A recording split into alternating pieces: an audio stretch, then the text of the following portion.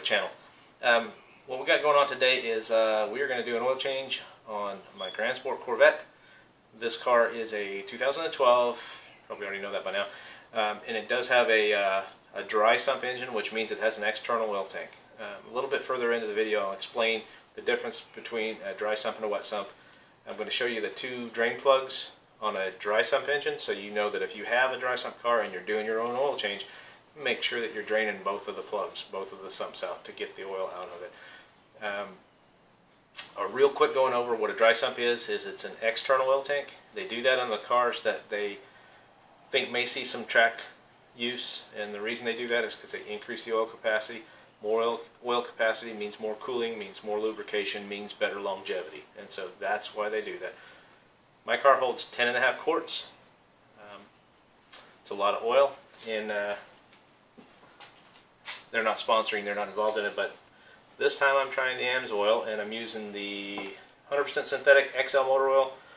It's a 10W40. It says 12 mile, 12,000 miles or a year. Um, I don't run my oil 12,000 miles. I, this one, this changes at about 4,000 miles, maybe a little bit less, and uh, that's that's about it. That's about the max for me for an oil change. So um, I've kind of switched over to AMSOIL for stuff and. Uh, price-wise, I've been a, uh, a Mobil 1 user for my whole life, but I did some reading on an independent uh, testing guy who, you know, AMSOIL consistently performs at the top levels of the oil, so I'm going to try it out for my personal opinion. We'll see what it does. Uh, got no problems with Mobil 1, which I had been using, and so we'll go to AMSOIL. Um, AMSOIL is a little bit cheaper, and it rates higher than Mobil 1, so the reason that I'm doing that is because it's saving me a little bit of money. It's a performance oil. It's a full synthetic, so there you go. And uh, I did their is it preferred customer program. I think it's 20 or 25 bucks for a year, and uh, shipping is free and the cost is reduced. And so, if you're thinking about going AMSOIL, look into that program.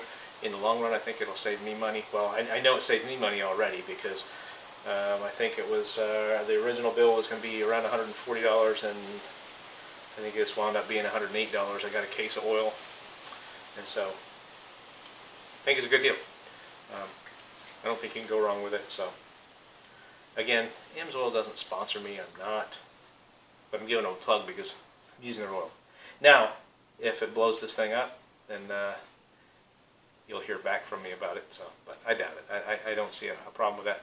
Great oil, great product, and I've never heard anything bad about them. So anyway, I think I covered everything. Let's go ahead and get started. All right, so here we are. Anyway, um, top side of the engine, and uh, the first, uh, the most important thing to notice about a dry sump system is this is where you check your oil, and this is the passenger side of the car over here that we're standing at. Uh, again, this is your dipstick for checking your oil, and this is your oil fill on this side of the tank. Um, and you can see kind of how the tank is down here below and it drops down further behind the uh, behind the front wheel. And so let me back off and give you a little bit of a kind of without hopefully making anybody dizzy. And you can kind of see my phone because I control my GoPro with my phone. Anyway this is the oil fill right here. Dipstick over here. And uh, we're over here on the passenger side of the car. Yeah we already got it up on the quick jack so make it easier for the oil change and so now the other thing is in a non-dry sump car, move my phone out of the way a little bit, um, right in here you're going to have the oil fill cap. And so that's where you would put the oil and your battery would be over in this section. Uh, your battery be over here where your uh, dry sump tank is. So basically what they did with this car, took the battery, they put it in the uh, back in the in the trunk area on the passenger side, and then they put the oil tank in here. And again you don't have a uh, an oil fill cap on the valve cover. So that's basically the big difference between a dry sump and a wet sump car.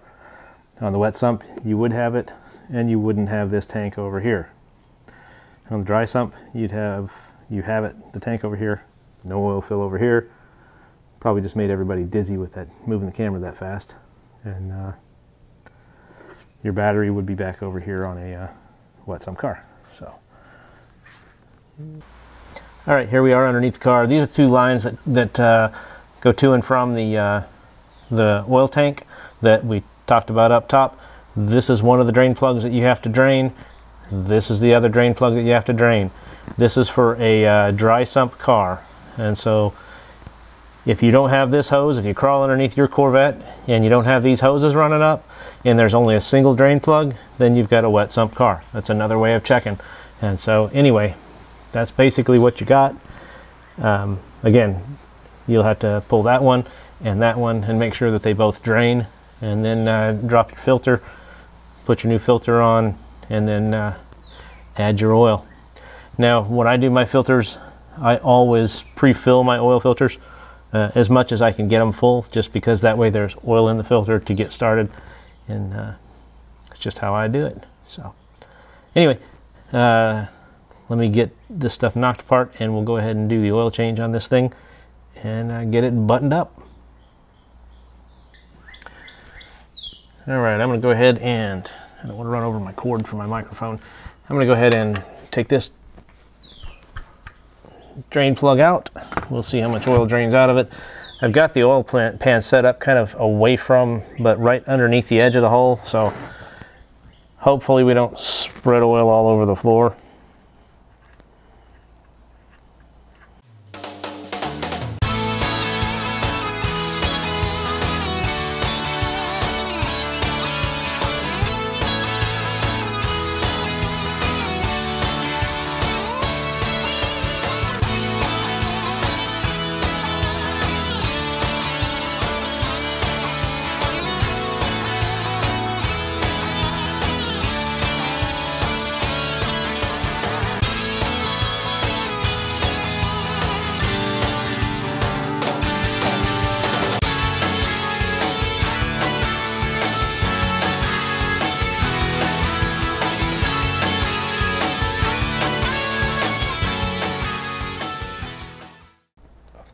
Don't reef it on there. I know there's a torque spec for it, but I just do snug it a little bit. Just make sure it's not going to come off of there. All right, so now is the fun one.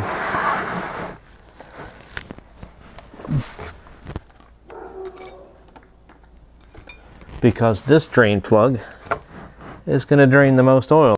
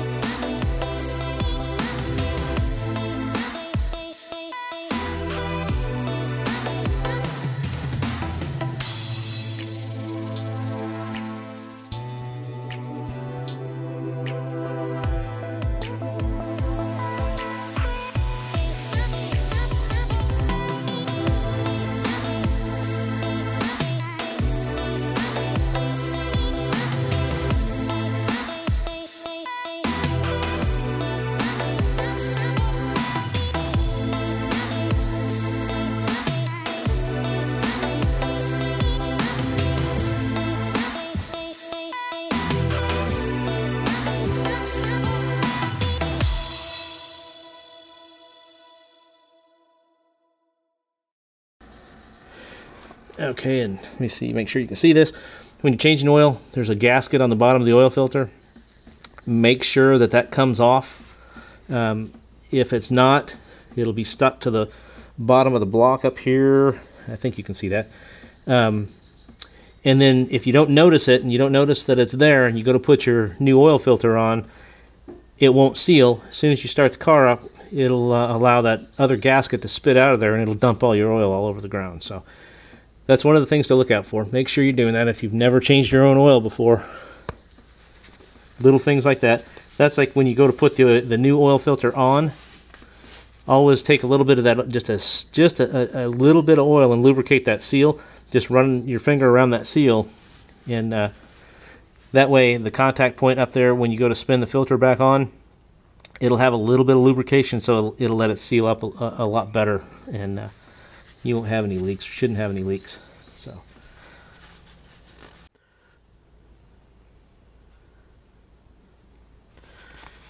Right.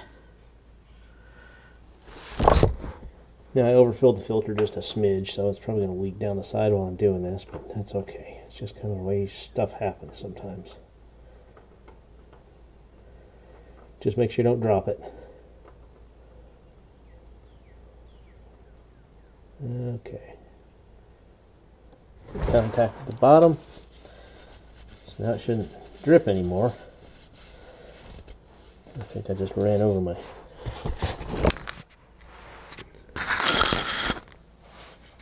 That was probably loud on the mic. Sorry about that.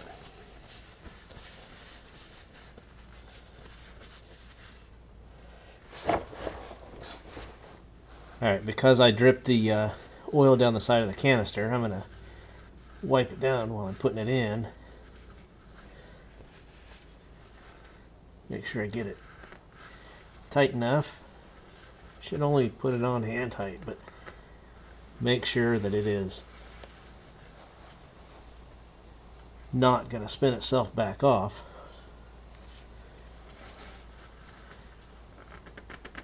There we go.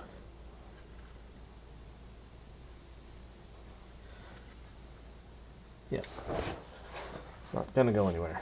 So, basically that is that. Um, what I'm going to do is go ahead and double check the, the drain plugs, make sure I did Yep, both of them are tight. Good to go. And so that's it underneath here. Um, new filter, plugs tight, oil drained. Now we're going to go up top side and put oil back in it. All right, so I've gone ahead and uh, got a little bit of a extra shop towel up here kind of to help out in case there's a drip or anything. Pop out the uh, fill cap, sit it up there, and then I got a funnel. Drop the funnel in there, and uh, we'll go ahead and start pouring the oil in there. All right, go ahead and start pouring this oil in here. This is the uh, quart that I use to pre-fill the, uh, the filter.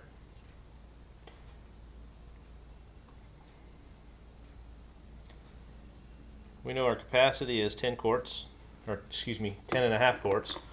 And so one down. A few more to go.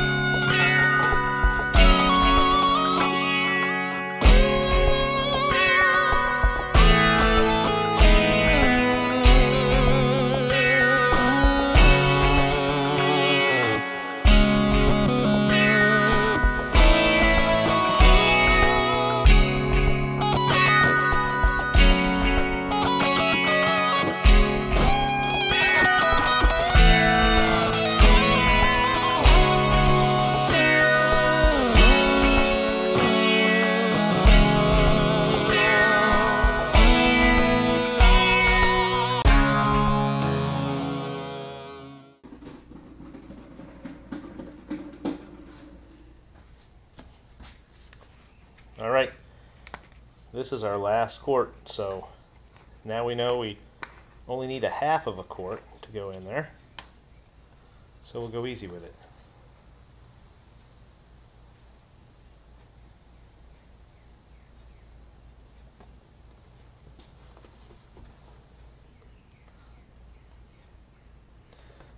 So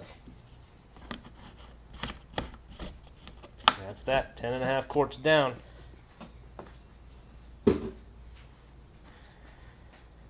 And the oil change is actually a pretty easy process. I know most of you, or a lot of you, have probably done your own or have been doing your own oil changes for a long time. But some of you may not have. Um, don't be afraid to give it a try. I mean, there's plenty of resources out there. It doesn't seem like it wants to be right. But uh, plenty of resources, like I said, to figure out how to do it yourself if you want to give it a shot. Oil changes are pretty basic and uh, one of the easiest ways for people to get into doing their own minor maintenance. And it'll save you a, a buck or two sometimes. Hey, that's a wrap for today's video. Thanks for watching. Um, hopefully this will help you understand the difference between a dry sump and a wet sump, or at least give you an idea of what to look for you have a dry sump car. Uh, and know that if you're going to tackle the oil change yourself, make sure you have uh, a, case of oil and a good filter. If you have a wet sump car, eh, half a case of oil and again a good filter. Don't be afraid to tackle it yourself. Just be safe with it. Put it on a proper supporting mechanism if you're going to put it up in the air. Um, I use my quick jacks. They're a great thing to have, but uh, anyway, so. Uh, hey, shout out thanks to Kyle Davis, my independent Amsoil dealer. I appreciate uh, him taking care of an issue for me recently, and uh, I'm using Amsoil, so. Anyway, thanks for watching. If you haven't already done so, hit that subscribe button. Uh, if you like the video, hit that like button and give me that thumbs up. And uh, as always, I appreciate any comments that you want to put down below. Uh, thanks for taking the time to watch my channel. Have a great day. We'll see you all on down the road.